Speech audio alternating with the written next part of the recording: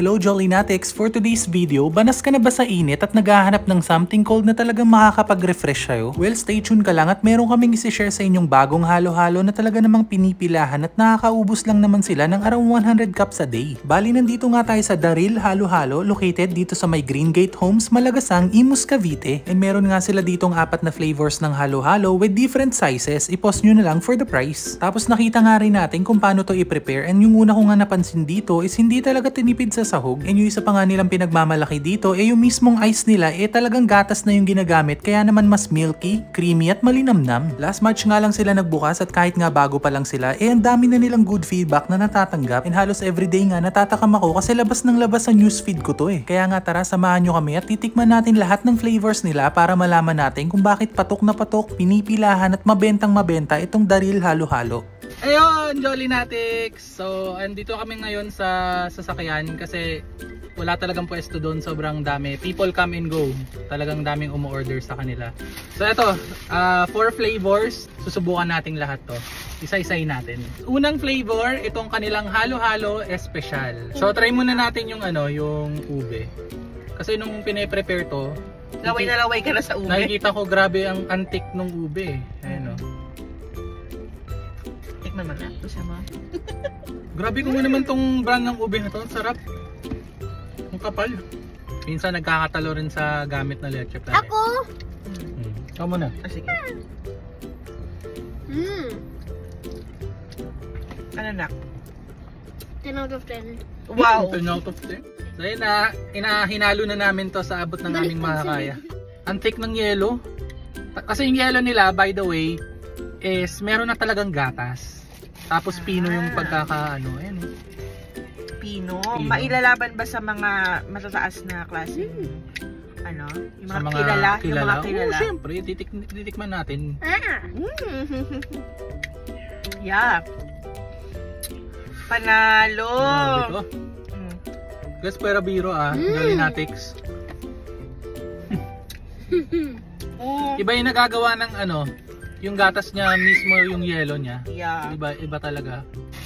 Game, next flavor is yung kanilang Leche Flan Delight. Oh my God, that's for me. Grabe to. Actually, leche flan niya, hindi siya yung very creamy at saka yung very sweet. Oo, siya yung... Tama lang. Oo, sobrang tama lang siya. Try natin tong ano, may buko siya eh. Oh. Try, sabay natin sa Leche Flan. Ayan. Okay. Hmm. Sarap. Fresh yung buko. May Ah. ano pa, may bao. Hmm. Kaya lang yun, ganun talaga. Oo. Hello, meron siyang ah, minatamis na saging. Oh, okay. Ayan, oh. So ayan, tikman natin to. Wow. Lambot ng saba. Tingnan. Grabe. Yung sa baba niya, yung hinog yung favorite Oo. ko. Syrupy. Weak lang. Tamis. Weak lang. Hmm, bakit? Ano? What Ano do you sabihin say? mo? May may may daming po tao sa ano vlog. Ah, dun Ah. sa kanina, upo. No, hindi tayo, hindi tayo makaupo. Pero ganun talaga yung mabenta kasi masarap yung halo-halo nila. Tsaka perfect siya for summertime talaga. Mm, naiinitan yung mga tao. Next naman, Jolly Natix is yung kanilang cheesy mais con yelo. So, meron siyang same pa rin, may buko. Ah, what's this? Tapos merong corn Cornflakes. flakes. Makes sense kasi nga mais con yelo, di ba? Mm. Cornflakes na talagang ano lang, plain lang talaga Plain siya. corn flakes. Okay. Hindi matamis? Hindi. Okay. Hindi siya walang glaze or Ah, okay, walang glaze. Okay. So tara, ah, haluin na natin to para mas makita natin or mas matikman natin. Uy, may leche flan pa rin. Oh, meron din. Oo, ano. Na, nahalo na natin ang ating cheesy mais con yelo. So, tikman natin with a bit of everything. Ayan. Tikman natin. Okay yung ano, yung may crunch ng Mm. cornflakes. Ah, Kakaiba, itong, no? itong, Lamig. itong halo-halo na Lamig. to is Lamig. for Lamig those lang. na hindi siya mahilig sa super sweet. Mm-mm. Yung may saltiness. Meron nga, may salty. Mm. Last but not the least, ah, etong kanilang halukay ube. Wow, sex bomb na sex bomb. Pangalan pa lang, alam na natin na overloaded sa ube to. Actually, itsura pa lang oh guys, oh, tingnan nyo.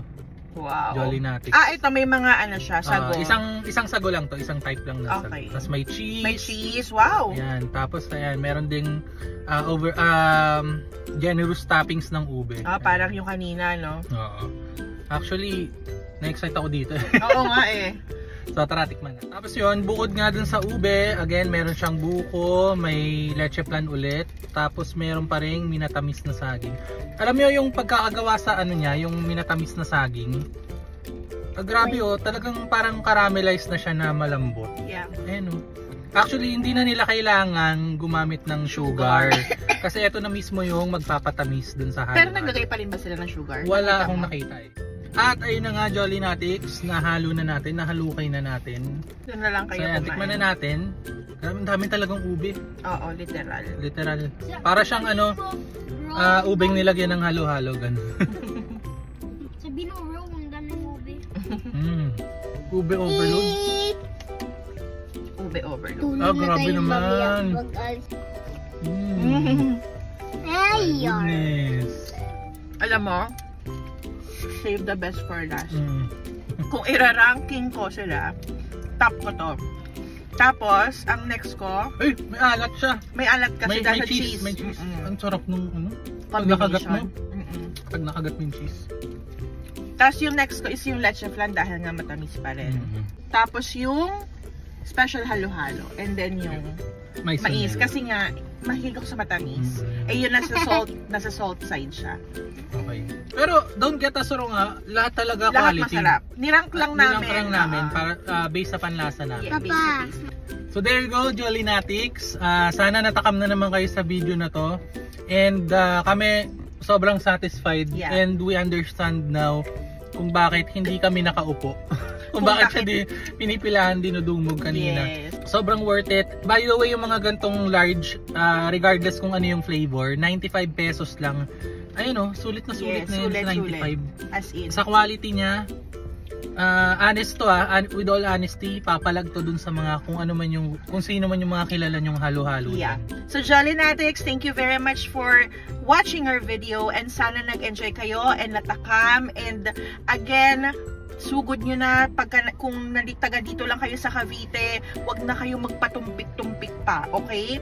And syempre, Jolly wag na wag nyo pong kakalimutan na mag like, mag-share, and mag-follow sa aming page para naman makilala pa tayo at mas marami pa tayong mapuntahan. Thank you so much!